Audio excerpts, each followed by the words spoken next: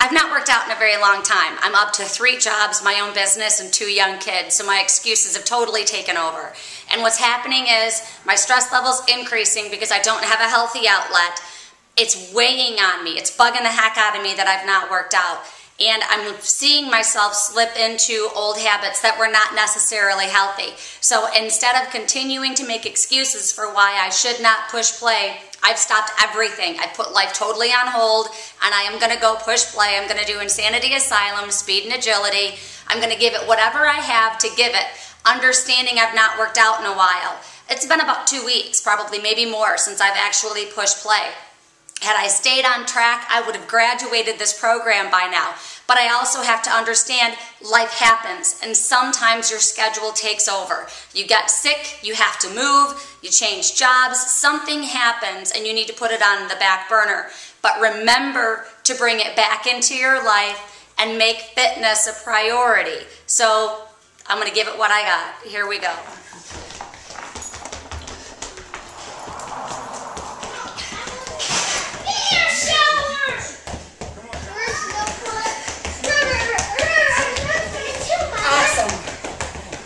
Shane.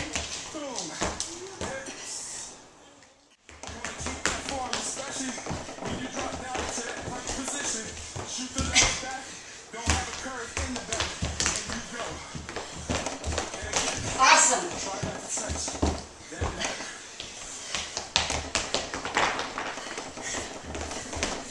Way to go, Cam.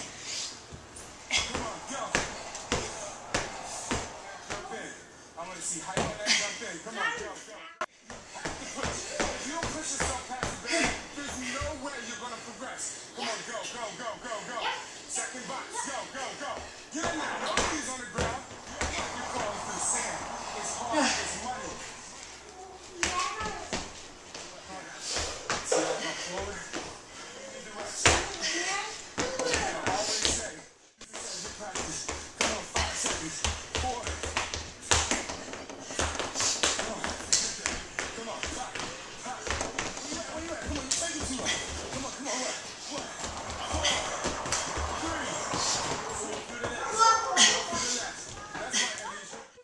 That was a hard workout. That was hard because the workout's hard and because I haven't worked out in so long.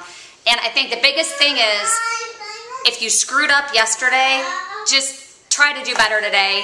If you ate poorly, if you skipped a workout, if you were mean to somebody you shouldn't have been, you can't change what you did, but you can do better today. So there you have it. I hope you have a great day. Please leave me your feedback and I'll talk to you soon.